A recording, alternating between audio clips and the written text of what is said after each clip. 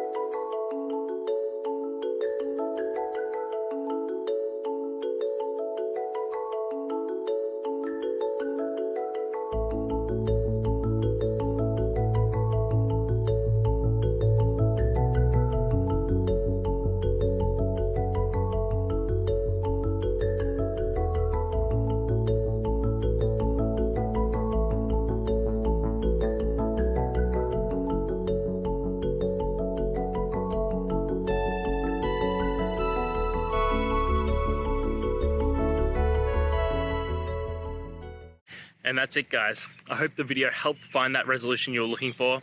And, you know, if it did, please, I'd appreciate if you could hit subscribe.